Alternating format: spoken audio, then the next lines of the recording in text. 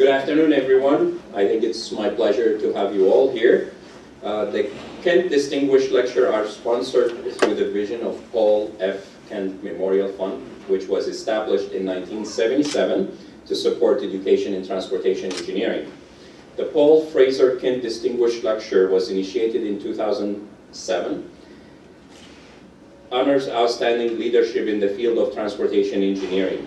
Kent was a 1920 graduate of the University of Illinois in the Civil Engineering Department. As a highway contractor and material supplier, he owned and operated two Champaign-based companies, which is General Paving and Builder Supply. Throughout his professional career, he expressed the highest regard and great esteem for the education in civil engineering, especially at the University of Illinois. He dedicated himself to civic service in Illinois and surrounding states. He was the founder and president of the University of Illinois Civil Engineering Alumni Association, which is now the largest in the country in civil engineering, and was the, recipient of the University of Illinois Loyalty Award and the Civil Engineering Distinguished Alumnus Award. And today we are very, very pleased to have a very distinguished speaker with us and a good friend of many of ours here, uh, Dr. Schwartz. Chuck Schwartz received his BS, Master's, and PhD from MIT, all in civil engineering. He is currently a professor in civil engineering, as well as the chairman of the Department of Civil Engineering at University of Maryland at College Park, where he teaches courses related to pavements design, analysis, advanced soil mechanics, and computational geomechanics. His research interest and experience span the areas of analytical and numerical modeling techniques for pavement structures and characterization laboratory testing of pavement materials. He has played leadership roles in many national research projects sponsored by the government, federal government, state governments, as well as local government and the industry. He has been serving on several national boards for international journals in his field. He's very well known. I don't think that we need to uh, give him more than that or talk more about this. I think we're very, very pleased to have him with us today as our 10th Distinguished Lecturer. Chuck? I'm not sure I recognize the guy in that uh, introduction there, but thank you. Uh, it's, a, it's a pleasure to be here at the University of Illinois. Um, I always enjoy my visits to campus here, and I'm, I'm pleased to see that uh, things at Illinois are pretty much the same as they are at the University of Maryland, and that nobody sits in the front row. Yeah. um, so today I'm going to talk about uh, some work, uh, some uh, several related projects uh, that we've been uh, working on over the past several years on uh, structural characteristics and environmental benefits of cold recycled asphalt paving materials. And these are asphalt stabilized um, uh, cold recycled materials. So um, we're going to try to cover a lot of uh, ground here. Um, uh, so I may skip over some of the slides pretty quickly.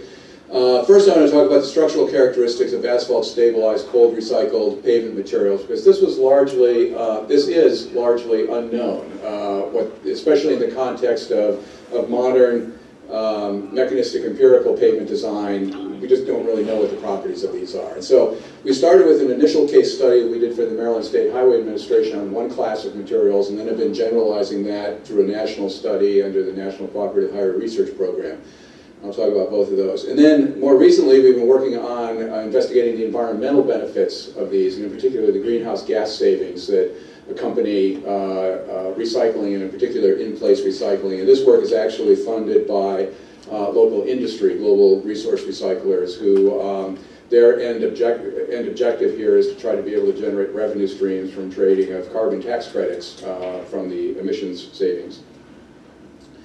So um, so for the first project, we were focused on foam stabilized materials, which are an interesting class of materials that are somewhere in between asphalt and, and unbound materials. Uh, it's a cold process. The aggregates are cold and they're wet. And what we do is we take uh, hot bitumen and inject water into it. It creates a foam, and we spray it on the on the on the aggregates. And what it does is it is it coats the fine aggregates, and then the the asphalt coated fine aggregates um, under compaction bond together the larger aggregate particles in the mixture. And the aggregates can be anything. Uh, very commonly they're recycled asphalt pavements, but they can be recycled concrete, they can be virgin aggregates. Um, uh, and so generally, we're looking at adding about 2% uh, binder uh, in these foam stabilized materials. And this can be done uh, two ways. It can be done uh, using a cold central plant recycling system as shown in the lower left. Uh, and these, these central plants actually are mobile. Uh, you can take them to the job site or you can keep them parked at your uh, production facility. Uh, and we're also looking at cold in-place recycling or uh, full depth reclamation. And again, the, the, the applications are, if we're looking at, at CIR and, and CCPR, we're really looking at, at milling off just part of the asphalt layer, recycling it, putting it back down, and then putting uh, a hot mix surface course on top of it. Uh, for full depth reclamation, we're going deeper into the granular base and even some, in some cases to the subgrade. But again, uh, stabilizing it, putting it back down, compacting it, and then putting a surface layer of HMA on top of it. Uh, the mix design for these materials are, uh, is, is uh, fairly crude, and in fact, some agencies don't even go through a formal mix design process for these materials. But the, the most commonly accepted mix design process is in terms of indirect tensile strength. So you make essentially, you know, Marshall-sized pucks and you do an indirect tension strength test on it, and there's usually a, a specification for a minimum wet tensile strength and a maximum tensile strength ratio. Um, there's also some requirements on the foaming characteristics of the binder that you need to satisfy. But basically, the, the key thing here is that the mix design is based on strength, which, again, for pavement design is not really the thing we're interested in. Okay, for a well-designed pavement, we should not be near the failure limit of these materials. We're interested in stiffness, uh, not strength so much. So we had the opportunity to test these materials on a, a, lane addition project on Maryland 295, just outside of Baltimore Washington International Airport. So it's you know it's a high volume road, uh, not a lot of truck traffic, but uh, but some. And we had, uh, without going into the details, we had um, uh, three segments of three different segments of foam stabilized base material, and a couple of uh, graded aggregate base sections that we could use for controls. And then there was a control strip that was paved early in the project to get compaction patterns uh, down. And this particular mixture that we were looking at here was a little bit unusual in that um, uh, more, more, commonly uh, these foam stabilized materials or foam asphalt stabilized materials would be 100% RAP. In this particular case, this supplier used 60% re uh, recycled concrete and 40% RAP and a 2.8% foamed asphalt. And you can see a little bit of the details here on the, on the gradation characteristics and uh, some of the mixture design characteristics. And again, on that last line, if you look, um, the foam stabilized material is being placed at a fairly high moisture content because it's, it's compacted, you know, essentially using Proctor compaction theory. You run Proctor compaction tests on this material, figure out the optimum uh, moisture content and compact it at that, at, at that level. So on this particular test, we were interested in doing um, uh, field stiffness evaluations of this material. And so uh, um, on this, this, again, there was a control strip and, and two uh, production segments that were placed in the summer of 2011. And we had uh, several things that we were testing here. We did standard nuclear density gauge testing, which is a little bit tricky on these materials because with because of the bitumen content, uh, the water content reading from the nuclear gauge is, is thrown off, and so you've got to do a correction for that. Uh, we had a GeoGauge for measuring stiffness. We had uh, actually several LWDs, but the one we use the most is, is the Zorn LWD, lightweight deflectometer. And then also we had uh, the State Highway Administration come in and do some conventional FWD testing. So one of the things we were interested in was to see um, so how the properties of these materials change with time. There's a curing process that goes on in the field with these stabilized materials. You put them down and they get progressively stiffer over time, and we wanted to track that in this case study. And, and, and that's exactly what we measured. If we go in, and, and again, those of you who have worked with these in-situ stiffness devices know that they all give different values and they don't always agree with each other, and we found that here, that the stiffness we got out of the Zorn LWD was different than what we got out of the GeoGauge, and was different still from the Dynatest LWD. But you can see the trends here. The red lines are the, the, the foam stabilized base, and so we get about roughly, was that about a, a tripling of the stiffness uh, in the first week of, um, of curing. And again, this is uncovered at this point. We just, we placed this material, compacted it, and it's just there in the sun. Um, we also had a stiffening of the granular base. Okay, and you can see that is the light blue curves, and that, that roughly doubled in stiffness. Um, and that's simply due to drying.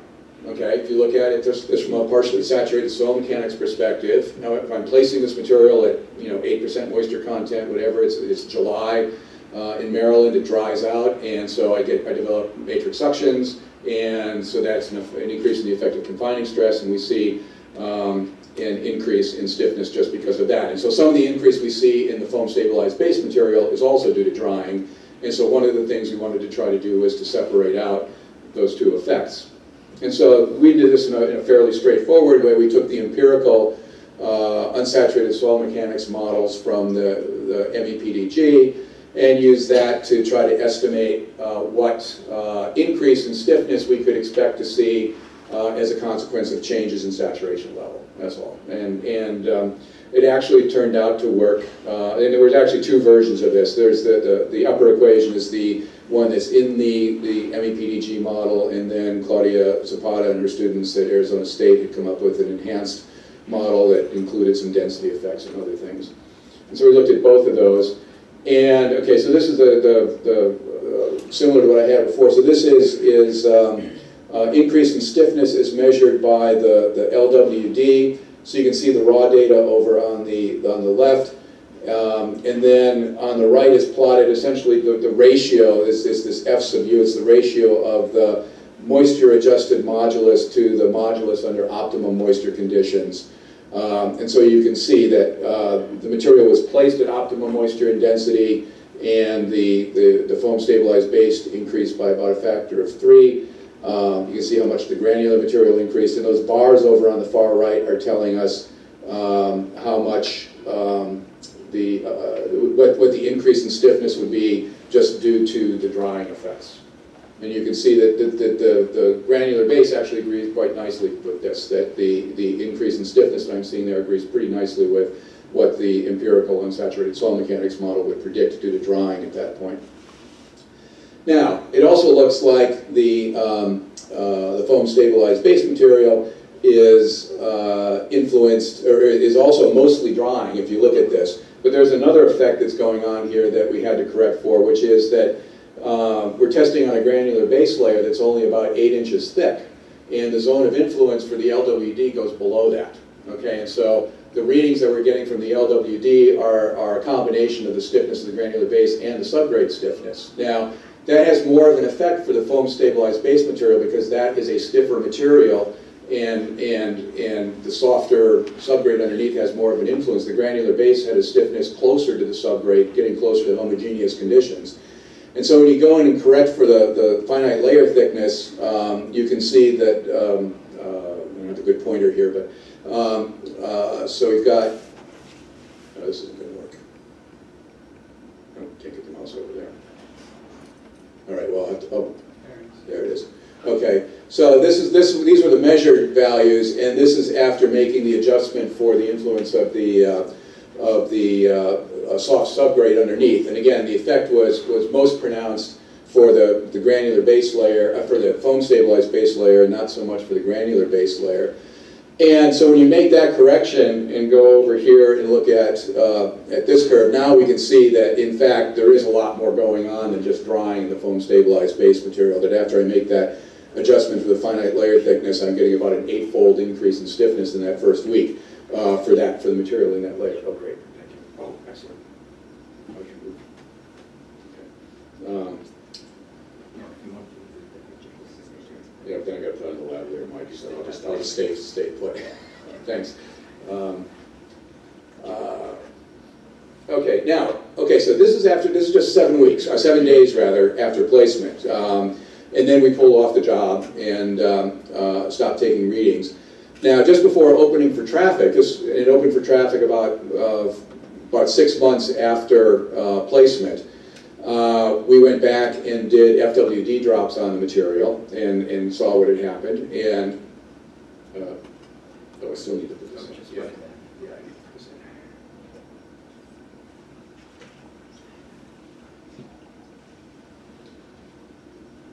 Oh, just. Um, and, and and uh, so we came back and, and did the back calculation analysis and uh, some interesting results. Okay, so we get sort of reasonable modulus values for the for the um, uh, for the surface layer, Uh, A little bit lower on top of the GAB because that was a little bit stiffer than these other sections which had the, the stiffer, this is a little softer than the other sections which had the stiffer base layer, and so I'm compacting against a softer layer, I'm getting, I'm not getting the same amount of compaction as I am on the other sections. You can see the subgrades coming in pretty uniformly all along. And the thing here that we're interested in is the base layer. Okay, and there's a fair amount of variability, but you can see that, you know, what's happened here is we've, we've got an enormous increase in stiffness now, six months out. If I back up, okay, so after seven days, we were up at, uh, what, about 450 megapascals for stiffness, and now, oh, great, different units. Uh, so, but this is about a seven, seven, sevenfold higher um, stiffness at six months than it was at, um, at seven days. You know, so something really has been going on here. If I look at the seven-day stiffness, the, the cold central plant recycled material after seven days, the stiffnesses were all down in that region.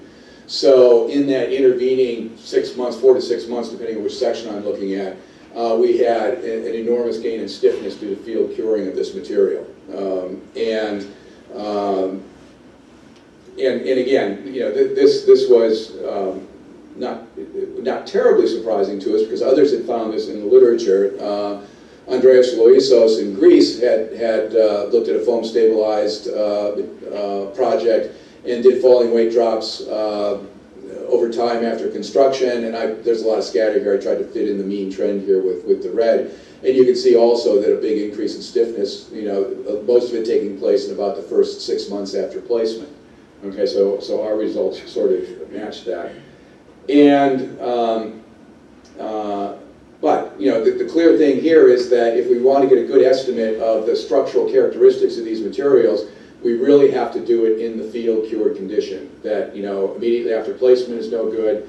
Uh, doing it on laboratory prepared specimens doesn't work because it's, it's virtually impossible to reproduce this field curing phenomenon in the laboratory. So we really have to go in and try to do it from field cured uh, samples, which is what we did. We decided we're going to do some, some structural property testing, so we you know, ran some tests through our, our UTM 100 and um, uh, uh, at State Highways run some through their uh, AMPT device. And the, the properties of interest here are, are the ones that we're interested in primarily for mechanistic empirical pavement design. So we're interested in stiffness, which means dynamic modulus. Um, and again, here we're going to be looking at axial for the moment. But in the general case, if I'm looking at in-place recycled materials, we've got some considerations here about specimen size, that generally if I'm doing cold in-place recycling, I don't have a tall enough specimen to do an axial specimen, and I might have to do IDT, dynamic modulus. Um, but we're interested in getting the master curve and the temperature shift relationships for these materials. And we're interested in permanent deformation characteristics. Right? What, are the, what are the slope and the intercept of the secondary stage so I can predict rutting in these materials. Um, and uh, we I'm sort of skipping over some of the details here, but um, there was some debate going on about, you know, so what's the best way to characterize these materials? Do you characterize them as unbound materials or do you characterize them as, as asphalt materials? And our judgment in the end was that the temperature effects and the loading rate effects were sufficiently strong in these materials that they really should be treated like asphaltic materials. Um, Maryland has not transitioned completely to the MEPDG. Very few states have transitioned completely, so they were also interested in what the properties were for the 93 AASHTO empirical design method. So that means trying to back out a, a layer coefficient for these materials, which is going to be a function of the, of the stiffness. And so we, we tried to do that also. Um, but again, so what we did is we went in, you know, just before opening for traffic and, and took cores, uh, roughly six months after construction, took them back to the laboratory. I should mention here that the, the pavement section on this was uh, eight inches of foam stabilized base material placed in two lifts. Uh, well, it wasn't consistently two lifts, but eight inches of, of foam stabilized base material, and then on top of that, eight inches of hot mix. Um, and I think part of what's going on in the field curing is that when you put that, that hot mix on top of it, you, you know, a lot of the heat flows out through the bottom of the mat, and that's flowing into the stabilized material. And I think that's doing the final cooking of this stuff that, that really solidifies the bonds. But the point is, when we tried to core this a couple of weeks, you know, a month after construction, you couldn't get cores out. The, the foam material would just crumble. When we went in six months, and took core out, we got this 16-inch long core that if I didn't know that it was foam stabilized material on the bottom, I'd have said, somebody put down 16 inches of hot mix. It looked that good at that point. And so we went and we ran, you know, dynamic modulus, and you know, it's a recycled material. There's a fair amount of variability, um, and uh, uh, you know, I gave a little. I'm trying to give a little bit of an indication here uh, up on the top of some of the variability. One of the things we were interested in is uh, so how did the stiffness of these recycled materials compare with with hot mix asphalt? And that's shown on the lower left where the black dot dashed line is, is sort of, a, you know, we took, took a typical mix and, and plotted the master curve for it. And you can see that, you know, uh, in the middle to, um, uh, you know, middle to upper, upper shelf regions of the master curve that the cold recycled material is coming in at about half the stiffness of hot mix asphalt. Um,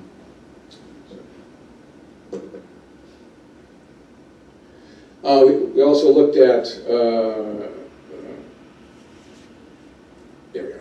Uh, we also looked at repeated load permanent deformation behavior. And again, you know, a fair amount of scatter, but one of our interests here was to look at how this compared with the same behavior for hot mix asphalt. And so the solid lines, I'm sorry, the, um, uh, the solid and the dashed lines all correspond to the foam stabilized material. The two curves at the top that, that go into tertiary flow are for some, from some laboratory prepared specimens uh, that just failed prematurely. And again, that's in part because it's so difficult to replicate the field curing conditions under laboratory uh, curing. Um, the, the dotted lines um, are what we had for, again, some typical hot mix uh, mixtures that we had tested in the past. And, and the takeaway from this is that in broad terms, the repeated load permanent deformation behavior of these foam stabilized, this foam stabilized material was comparable to what you'd have for hot mix, okay? And that's okay, because these materials are generally going to be lower in the pavement structure. They're not going to be right at the surface.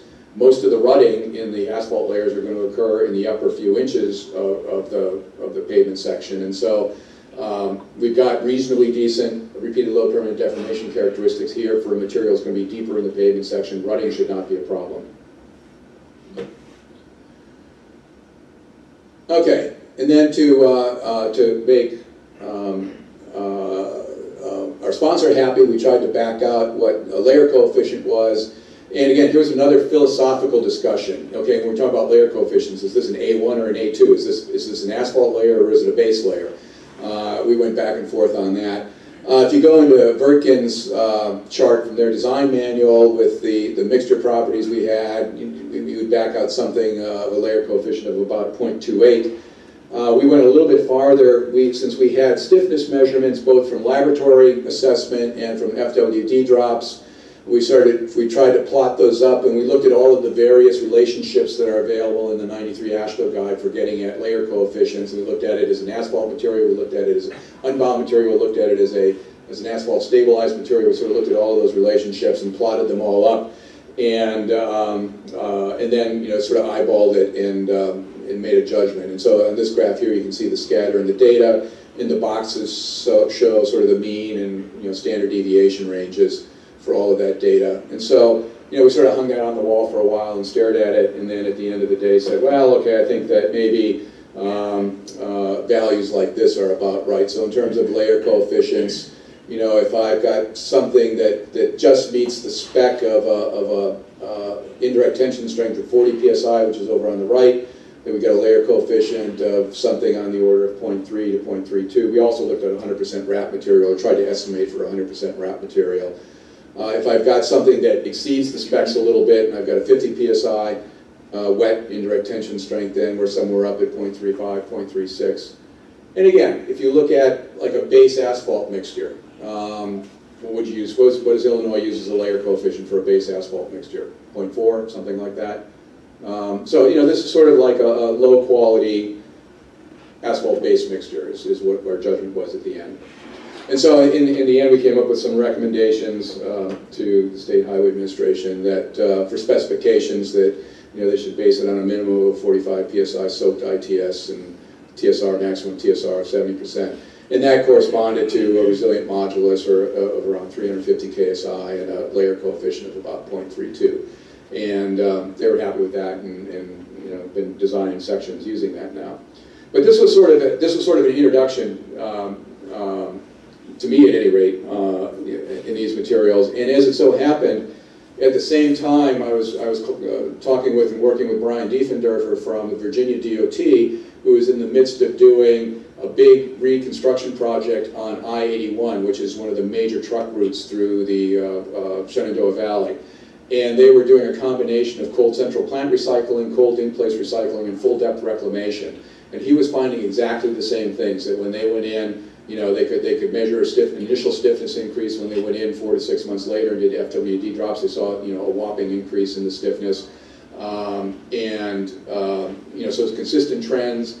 Uh, and they seem to be real because the, the section that they rehabbed of I-81 was something that it, it- it's a terrible subgrade. They would have to go in every two or three years and do major maintenance and rehabilitation to it.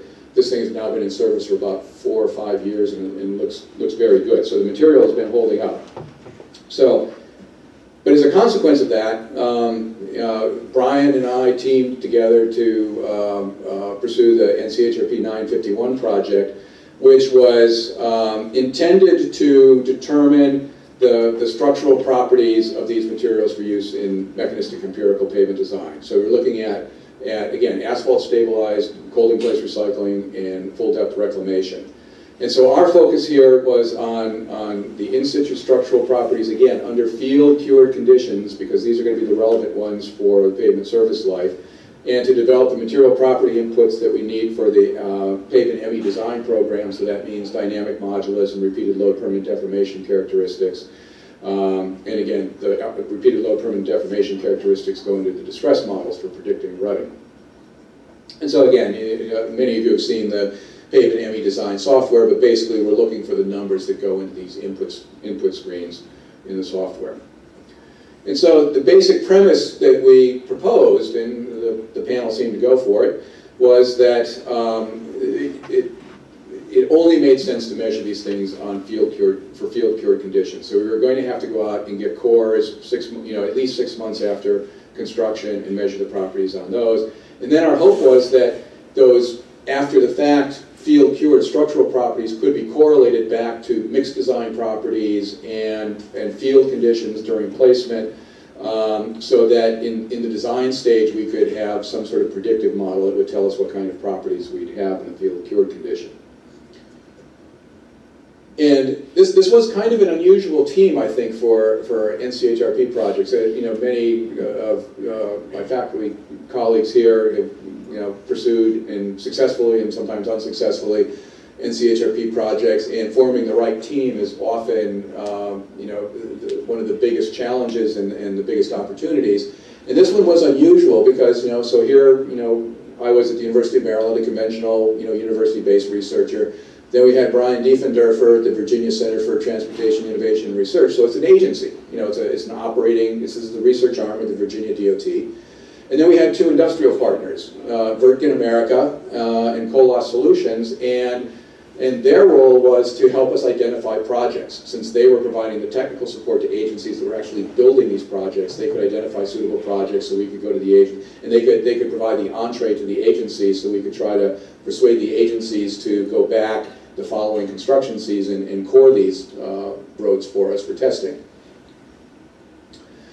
And um, we're, we're still in the middle of this, okay? So th this is a work in progress, but we've got some, some results that are at least worth looking at right now. We're, we're actually in the analysis stage right now, we finished all the field sampling and the laboratory testing. Um, uh, and in the, in the end, we got 25 projects in 13 different locations, a little bit fewer than we had expected, but the, the severe winter in, um, not 2014, 2015, but 2013, 2014, depleted agency budgets because they had extra snow removal costs, and the construction season started very late that year, and so they weren't able to provide us with as many projects as we had hoped on that second season of the project. Chuck, Yeah. what's the Illinois project? Uh, No problem. Yeah, I'd have to go back and check the date. It may be around this area, if I remember correctly. Uh, Stephanie Drain, I think, helped us get, get, get samples for that. Um, Now, one of the, one of the, one of the project, one of the problems we, we knew we were going to encounter here, particularly for CIR, is that the lift thicknesses are just not great enough to do conventional laboratory testing. You know, we're looking at, at most six inches for a CIR layer and, and typically less than that. And so the question was, how are we going to measure dynamic modulus and repeated load permanent deformation uh, characteristics for, for these thin lifts? And originally we thought, well, we could do it using indirect tension testing. Richard Kim at North Carolina State has worked out a, a way of doing that. We tried it, didn't seem to work very well for these materials, and so we, we decided to go a different way. And we decided to capitalize on some work that Nelson Gibson at Federal Highways had started on looking at, at, at sub, substandard size cylinders and doing testing on those. And, um, and so we thought, well, this is worth pursuing. And, and what we would do in that case is we would core horizontally, okay, because we could, we could get a two inch diameter uh, specimen if we, if we cored, uh, these are six inch cores, so I could get a two inch diameter by roughly six inch long uh, cylinder out of it if I cored horizontally. Um, and we wanted to see if we measured those kinds of specimens, if we would get the same results as we would with full-size specimens. Now, since we had a limited supply of the recycled material, we did our preliminary study on hot mix asphalt, uh, and we looked at a couple of diameters and a couple of heights and a bunch of mixtures. Brian kind of went a little over the top on this. Um, but we, we got a good set of data, and we were comparing small scale versus full size. And this just shows the setup, you know, a special coring jig where you go sideways through the cores. Um, and you can see it over there, you know, the, the, the cored specimens on the bottom left. And then on the AMT, AMPT uh, jig for attaching the instrumentation points, you know, Brian had to do a little bit of machining to, to adjust the arms so that they would reach in on these smaller diameter specimens, but that was a fairly straightforward operation. And so at the end of the day, uh, when you when you plot the data, it looks pretty good. Okay, so you've got the small scale specimen, dynamic modulus values along the vertical axis, the full-size, you know, conventional cylinders uh, along the horizontal axis, and, and, yeah, there's some scatter, but I'd say that that certainly, uh, my view is that, yeah, there may be some errors in this, but since we don't have a clue as to what the, the dynamic modulus properties are for these cold recycled materials, I'm willing to tolerate, you know, a 10% error. That, that's okay. Um, so we said, this is good enough, we're going to go this way. And so then we started coring the, uh, the recycled materials, um, and doing the testing. And um, uh, you know, if you plot up all the master curves, you know, they look sort of like this. Um, and not a whole lot of pattern that we've been able to distinguish out of this so far. Now, this is not the most, most useful way of comparing all of these data.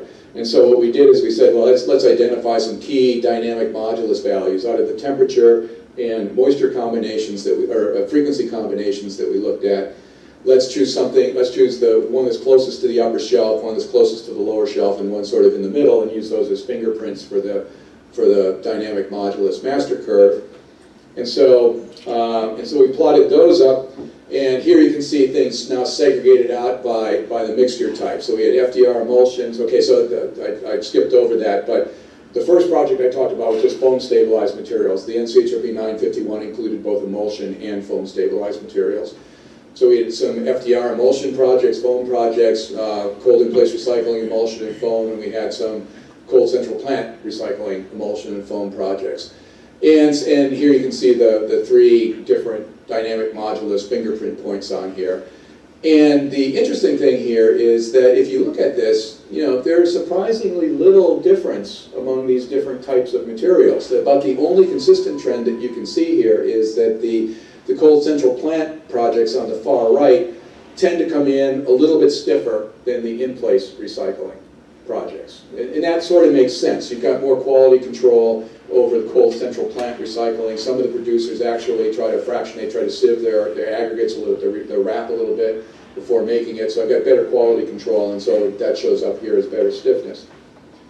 The real, the real key here, though, again, is, so, all right, that's fine, but how does this compare with, with conventional hot mix mixes? And uh, so here we've got some typical HMA values, and these, you know, unfortunately I don't have a, didn't have a lot of data for base mixtures, which would be the, the better comparison because we're using these really toward the base of the asphalt layer. Uh, I mostly had data for surface mixtures, which are going to be stiffer, but if I go in here at um, uh, 4 degrees, uh, 40 degrees, I'm sorry, this is um, yeah, 40 degrees C, uh, one hertz, the, the, the, lower shelf value, uh, you know, the middle point, yeah, right, okay. So, so here are the, the sort of ranges of the hot mix asphalt dynamic modulus values at those same temperature and loading rate combinations. And again, there's some scatter. We had something on the order of 20 mixtures we looked at. Uh, so we've got a range of values here. And if you look at this, you know, look at this long enough, you know, you come away with the conclusion that, you know, as we saw in the first project, that roughly these, these recycled materials, these cold recycled materials are coming in with stiffnesses roughly half of what we have for hot mix asphalt. Okay, so um, um, is that good or is that bad? Well, that's one of the things we're in the process of, of analyzing now uh, in, in, the analysis stage. Um, you know, the you know one question would be, so what's the impact of that going to be on uh, performance of the pavement as predicted by the MEPDG? And that's what we're looking at. Uh, but roughly, again, the takeaway is that these materials, not a lot of variation among the different types of materials, uh, and coming in at roughly half of hot mix asphalt. Um, here are the repeated load permanent deformation curves. Um, uh, and I've forgotten what the story is with that orange one, but something screwy went on in testing that. And again, these are all measured from field cured cores, the small, small cylinders also. Uh, and so we went in, again, with some key uh, repeated load permanent deformation parameters to try to sort this out a little bit. So we looked at the slope and the intercept of the secondary stage. And we also looked at the accumulated plastic strains at 1,000 cycles, which is roughly the beginning of the secondary stage, and at 10,000 cycles at the end of the test. And, um, and, and, and here's how the data shake out.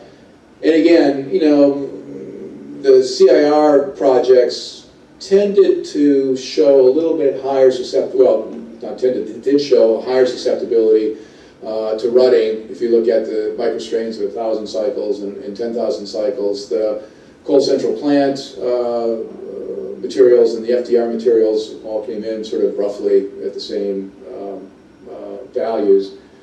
And again, if I try to superimpose typical HMA values for, super, for surface mixes, um, I get things that sort of look like this. Um, and I can see that, well, Okay, for the FDR and for the CCPR materials, it looks like we're sort of in the same ballpark as we have for hot mix asphalt. Our CIR is a little bit more problematic, um, but again, these materials are going to be deeper in the pavement structure. And, and so even though they're more rut susceptible, it's not at all clear that that's going to translate to increased, you know, significant increase in surface rutting. Now, okay, so where we're at right now is trying to develop these correlations, and frankly, it's, it's not been easy going right now because, as, as, as you've seen, there, there's not been a lot to distinguish the properties of these different kinds of materials. I mean, there's quite a bit of a difference between, you know, an emulsion FDR project and a, and a foam cold central plant recycled project or mixture. But we're attempting to do the correlations, um, uh, and again, trying to relate the mixed design, the things we know in advance, the mixed design properties, what were the conditions at, during field placement? You know, was there field QA done? Was density taken? You know, what are those properties? And we're hoping to correlate those with the actual structural properties that we're interested in, the dynamic modulus and the repeated low permanent deformation, and again, measured from the field cured cores, the sort of after the fact structural properties, and then uh, looking at that in terms of performance modeling and predictions. And so, you know, the, the, correlation analysis, just to give you a flavor for it, so for the inputs, we've got a lot of things. We've got gradation, we've got, you know, how much stabilizer we've got. In a lot of these mixtures, we will throw in a little bit of uh, Portland cement as an additive. Um, you know, if it's a foam project, what were the tensile strength values? If it was an emulsion, what's the stability values? Um, and then, you know, construction, what was the recycling depth, bulk density after compaction, you know, curing time, how long has it been sitting there, what was the overlay thickness? And then the outputs we're looking at, well, we're sort of fishing right now, we're looking at, uh, you know, at dynamic modulus at these key sort of uh, fingerprint points, you know, different temperatures and, and, and loading rates. Uh, we're also correlating things with the uh, master curve parameters um, and for repeated load permanent deformation behavior, again, the, the plastic strain at 1,000 or 10,000 cycles, but more importantly, the uh, secondary permanent deformation parameters, the slope and the intercept. Uh, flow number, not so much. None of these materials really went into flow for the conditions we tested. And we tested using the NCHRP 930A recommendations for hot mix asphalt. Um, and, um, uh, and again, flow number is really just a screening parameter anyway. It doesn't tell us a whole lot about predicted performance.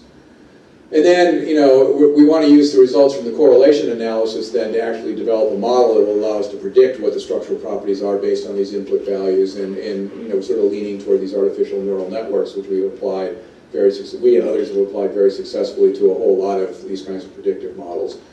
But that's where we're at right now. We're trying to, to sort all of that out.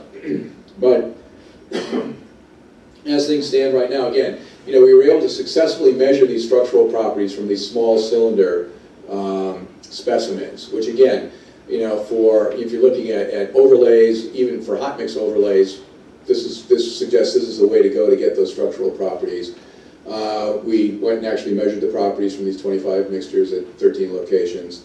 As I said, you know, the modulus values are about 50% of those of hot mix asphalt, a little bit lower for um, CIR, uh, and the repeated load deformation behavior similar to HMA, except again for the cold in place recycling, which tends to be a little bit more rut receptive, rut susceptible. So the CIR is, is sort of the outlier. It's a little bit less stiff and a little bit more rut susceptible than the other classes of material.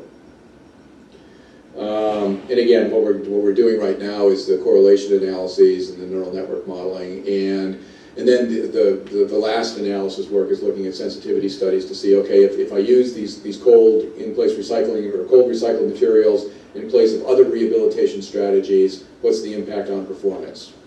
Which is really the, the thing we're interested in at the end of the day. Okay.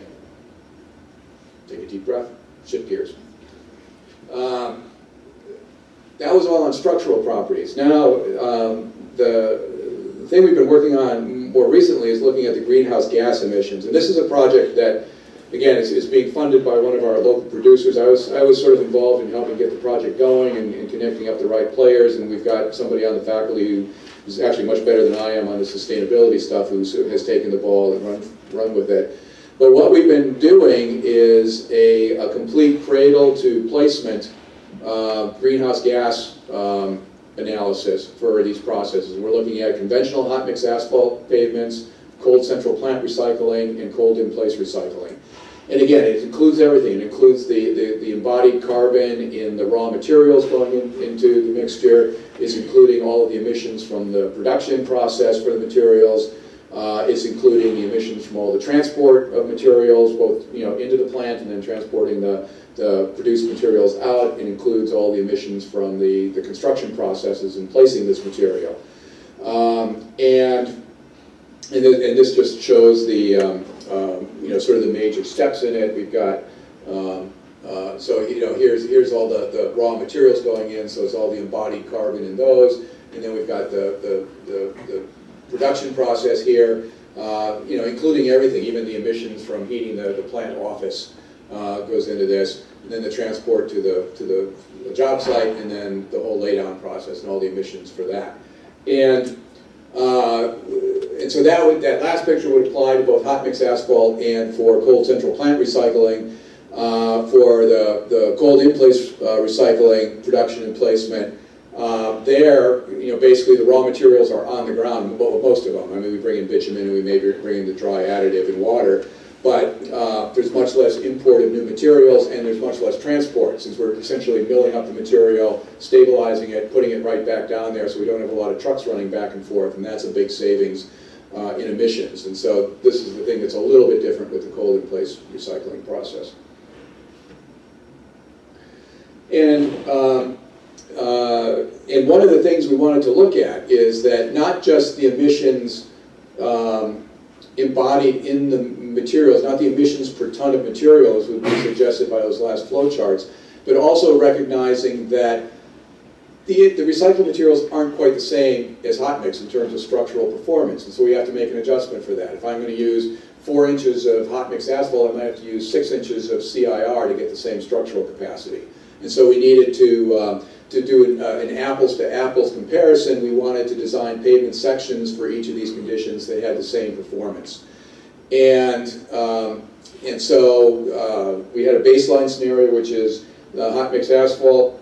Um, and, uh, you know, so we, we designed a, a, section for that. And then we looked at um, the foam stabilized base, or foam, sta foam, foam st stabilized bitumen pavement. Um, and, and so here, and so we're looking here at either cold central plant recycling or cold in place recycling. Um, uh, My colleagues who did this also threw in a uh, a Portland cement concrete pavement section, and, um, but the data we have on the emissions for that isn't, isn't quite the same as, as what we have for the asphalt materials. I'll I'll throw it in, but I'm gonna focus on the asphalt system. Um, Now, you need a lot of data to do these emissions analyses, and, and a lot of it is available in standard databases scattered all around the literature, and, and we dug up all of this stuff, and there's, there's, um, uh, you know, databases for uh, the embodied uh, carbon emissions in, in materials and for transport and, and all sorts of uh, processes like that. There's, you can get uh, information on emissions for equipment usage for different categories of emission. Uh, You know, the cold central plant is run by electricity, so, you know, there's emissions associated with that. And so there's a bunch of standard databases that we looked at uh, to get at these um, uh, and methodologies that are out there to do it. And in, in the end, what we're looking at are, are all these different emissions categories that we're all gonna add up uh, at the end of the day. Now, to supplement that, um, we also sent teams around to various sites around, the, around mostly the East Coast, some in California, to actually collect real project data. They would go out and they would log everything that was going on at the site, what equipment was being used, for how long, and so on, and brought it all back and did um, and did the actual emissions calculations for those uh, specific projects, uh, rather than just using the generic database um, information. And you know, and, and there's a, a, fair amount of variation, but this is showing, um, you know, some of the computed emissions, uh, so that we looked at, uh, for HMA, we looked at 10 projects, 16 producers, um, and, um, uh, okay, uh, so that's the upper left, and then sort of in the middle is the CIR, we had five projects, uh, and for the CCPR, um, we just had one producer, the funder of the research, but 13 projects for that. Uh, so we collected all that information, and again, this is information for real projects, you know, the real equipment usage, the real material usage that went into it.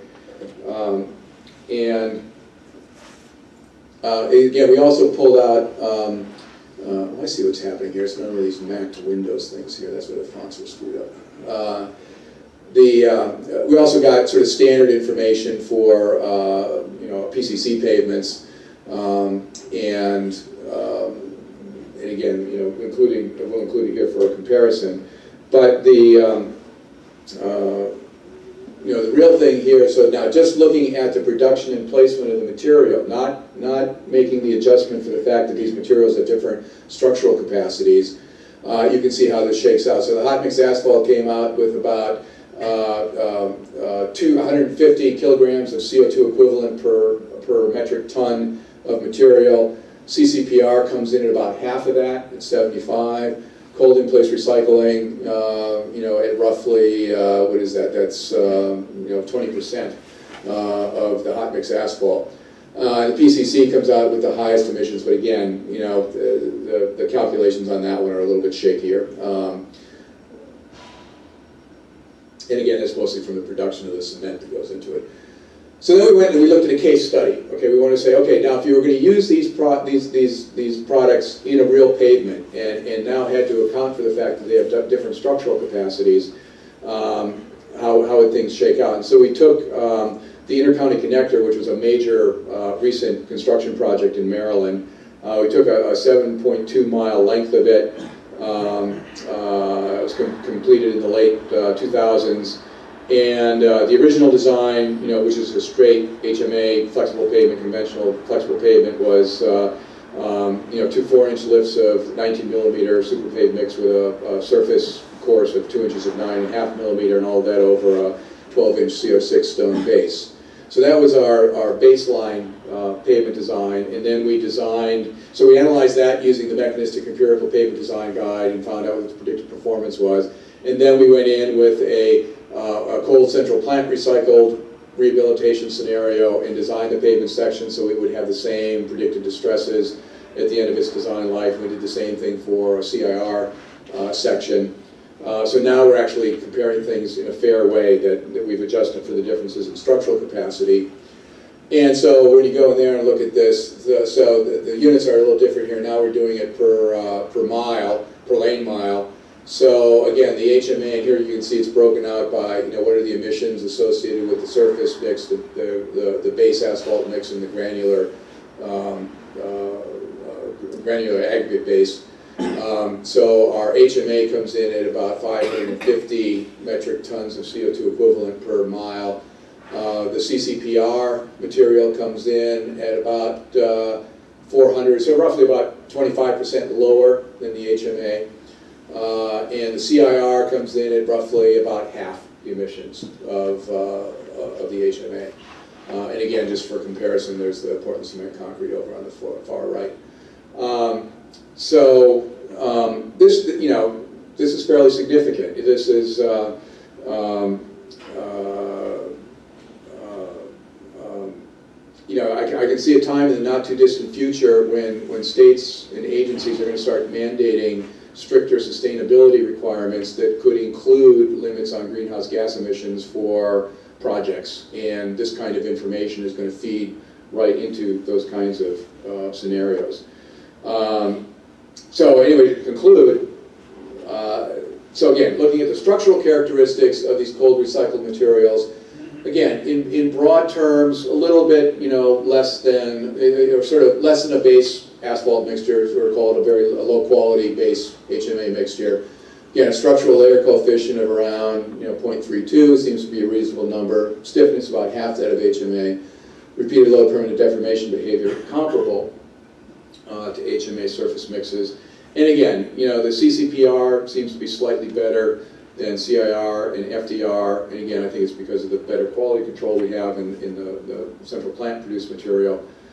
And we really didn't see much systematic difference between emulsion and foam uh, in any of these. Okay, and so, and, and the way this is, is, is evolved is some states do all emulsion stabilized materials and some do all foam.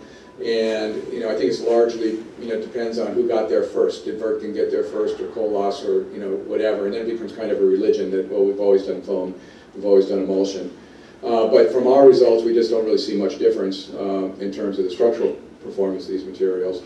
Again, I think a key finding was that, um, uh, and again, Nelson Gibson had done some of the preliminary work on this, but we really, you know, banged on this one pretty hard and came away, you know, with the conclusion that these small-scale specimens actually do a pretty good job of giving us uh, uh, good test, test results, good estimates of the structural properties. And then again, the final bit of this is the greenhouse gas emissions, substantially lower than for HMA and PCC. And as we saw just on the last slide, for the cold central plant recycling, for the case study we looked at, uh, it was about a 26% savings for the CIR, 53% savings versus HMA. And again, that's including the differences in the structural characteristics of these materials, as well as the differences in the production and placement processes. And right now, we're about halfway through this very laborious process to get formal certification of these greenhouse gas emissions savings. Um, there are several uh, NGOs that do this. The one we're dealing with is one called the Verified Carbon Standard. And again, it's a, this multi-cycle review process that um, is about halfway there. Um, but again, the idea is that um, uh, even now and certainly in the future, you know, there will be a trading market for these carbon credits. Uh, and so these are potential revenue stream for producers. And with that, I can open it up for questions.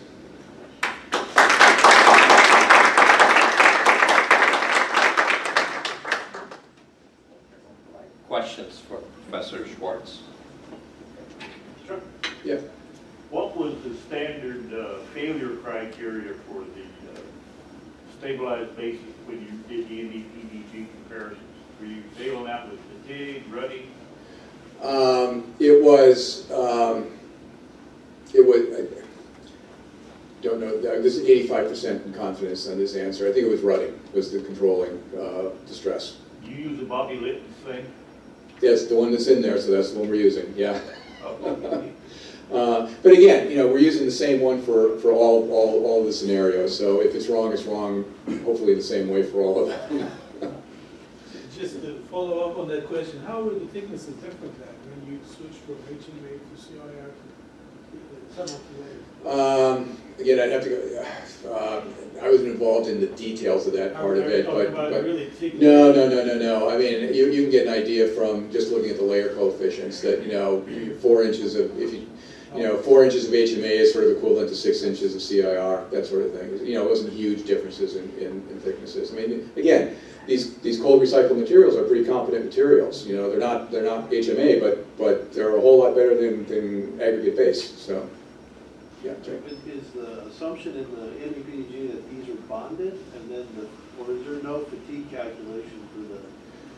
Uh, they, they were modeled as though they were asphalt layers, because we were putting in as the inputs the dynamic modulus values, so. So the fatigue performance function is, assuming it's a hot mix asphalt?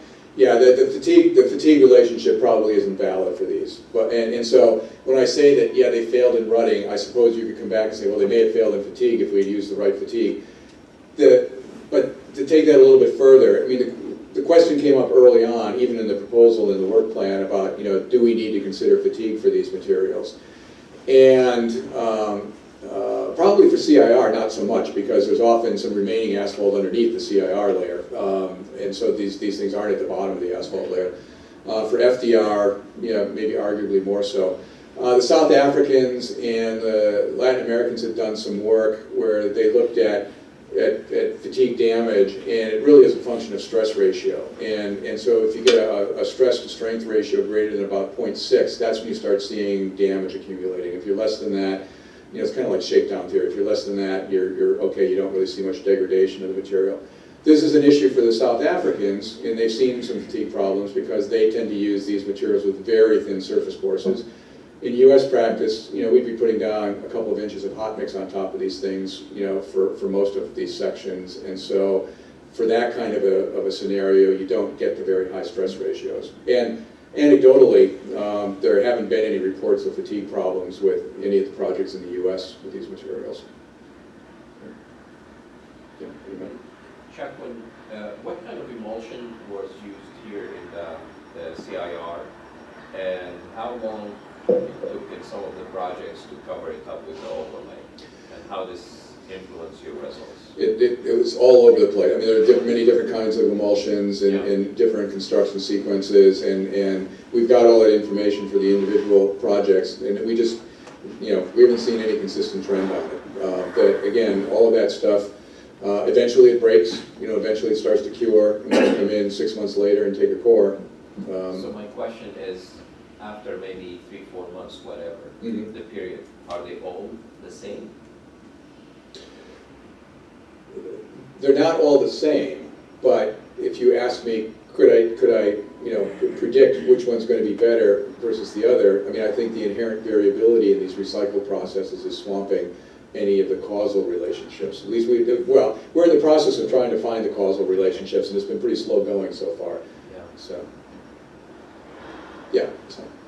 Are you going to be recommending some mixed design tests at the design uh, phase, or just going to be using models based on gradations, and emulsion percentage? Yeah, no, the, the, the, the, the whole work is predicated on the assumption that um, we'll be recommending, you know, structural material characteristics for the material on, based on the assumption that the mixes have been designed and constructed following best practices, and and we'll, we'll itemize what, what those are.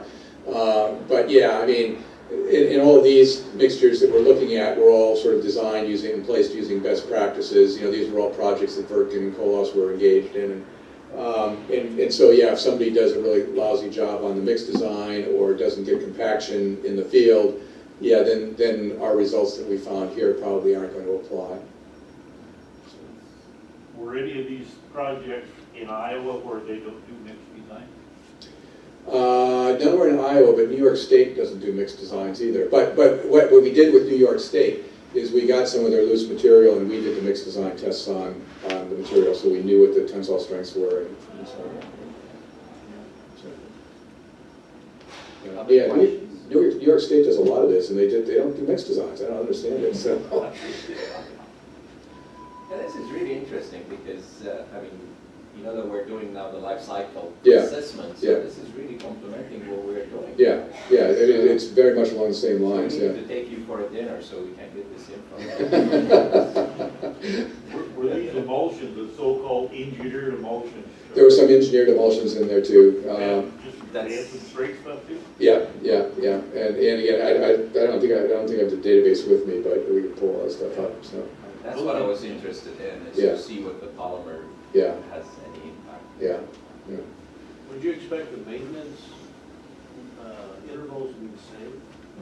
I'm worried about your life cycle assessment because you're kind of just treating the front end of this, not that it's wrong, but, but if your maintenance cycles are closer together, then your global greenhouse gas emissions aren't so favorable. Yeah, but that, that, that's a, that's a valid point, and, you know, I think that the answer to that is unknowable at present, that, um, Just no- not enough experience. not enough experience. I mean, some of these projects have been out there for a long enough time, uh, but people haven't gone back and, and I think really looked at that data uh, carefully. I mean, again, certainly anecdotally, um, I mean, Iowa's been putting these things in for a long time, uh, and uh, anecdotally, nobody's coming back saying, oh yeah, this stuff works okay, but you gotta go in three years earlier to do a- a- an overlay.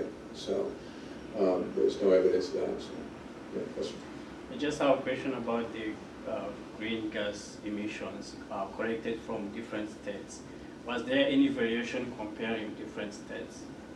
Um, no, and, uh, you know, I, don't know if our data set was large enough to, to really, uh, do that. Um, uh, um, I, th- I think that, um, this was, this was, uh, more in, an- in an effort to, to give us better confidence that the kind of standard numbers we were getting out of the conventional databases um, Well, there's two purposes for it. One was to get some confidence that those numbers are, are correct, and also the the verified carbon standard is part of their certification process wanted to see some real data, so we went out and collected some real data for it. Yes? So, uh, on uh, like on the process of CIR or C- CCPR, Mm. uh, uh, do you see any degradation of material? And if there is any degradation, like what extent is the degradation of material? Um, Yeah, I'll tell you, the worst case we, we saw for degradation of material um, uh, was, this was early on, we were doing some small test patches, and um, so we had, it was a fire station of all things, and, and it was a full-depth patch.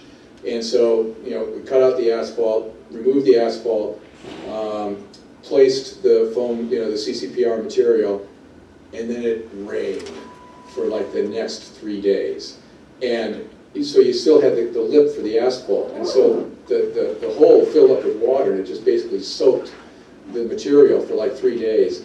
And we could never get it to cure after that. We basically had to take it out and replace it. So, um, yeah, so, so, so things happen. You, you gotta be careful with, with your weather conditions. You, you don't want it to rain in those next few days after you place it, because that can really interfere with, that can, that can irre- irreversibly interfere with the curing of the material.